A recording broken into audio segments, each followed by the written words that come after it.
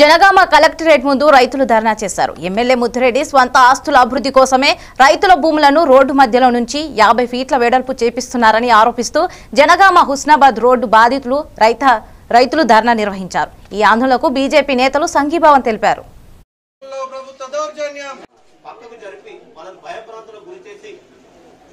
విస్తరించి రైతు భూమిలో పోయి మొక్కలు నాటడం జరిగింది. అది ఎందుకు అని చెప్పేసి నిన్న డీసీబీ న్యాయం చేయాలని మేము భారతీయ జనతా పార్టీ డిమాండ్ చేస్తాము ఇది ఒకటే రోజు కాదు తీసుకున్న సిద్ధంగా ఉన్నాం. కోసము మేము భారతీయ జనతా పార్టీ అలుపెరిగిన పోరాటం తప్పడాలని మేము విజ్ఞప్తి చేస్తున్నాము. మేము ఇంతసేపు అయినా కలెక్టర్ గారు స్పందించలేదు. ఏదో మీటింగ్ జరుగుతున్నది మాకు పదే పదే చెప్తున్నాం ఇక్కడ రైతులు కనీసం పట్టించుకునే దాకా లేదు. మరి ఎందుకు ఇంత దౌర్భాగ్యమైన స్థితిలో ఈ యొక్క రాష్ట్రంలో ఉన్నది? ఈ యొక్క రాష్ట్రం తెలంగాణ రాష్ట్రం ఏర్పడితే మా యొక్క రైతులు బాగుపడతాయి. రైతులకు గిట్టుబాటు ధర వస్తుంది. రైతులకు మేలు జరుగుతుంది. రైతులకు నీళ్ళు వస్తాయి. రైతులు ఎంతో బాగు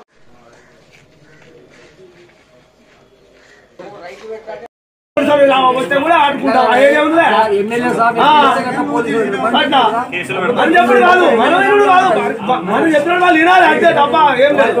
మనం న్యాయం పోలీసులు అడుగుతుంటే మనం చెప్తాం. ఐదు? సంవత్సరాలు- ఎమ్మెల్యే ఒక సంవత్సరం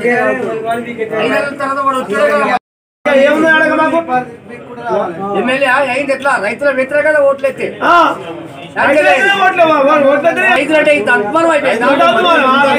రైతులంటే. అంటే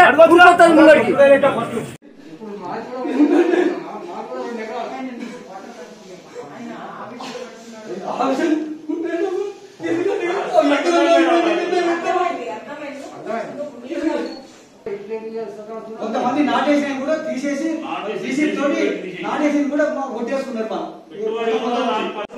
పోసేయలే ఫస్ట్ కూడా అధికారులు వస్తున్నాడికి పోలీసులు వస్తున్నారు? వాళ్ళకి ఏం సంబంధం ఇది?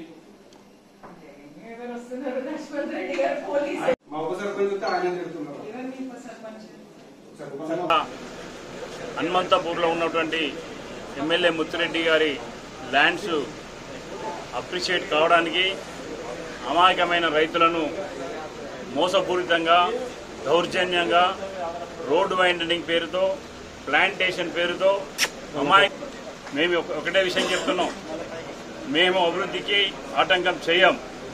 మీరు కనుక ప్రజా ప్రయోజనాల దృష్ట్యా మీకు కనుక భూమి కనుక రోడ్డు వైండింగ్ చేయాలనే దృక్పథం కనుక మీకు ఉంటే చిత్తశుద్ధి కనుక మీకు ఉంటే ల్యాండ్స్ విలువ పెంచుకోవడానికి అమాయక రైతులను దోస్తున్నాడని భారతీయ జనతా పార్టీ విశ్వసిస్తుంది.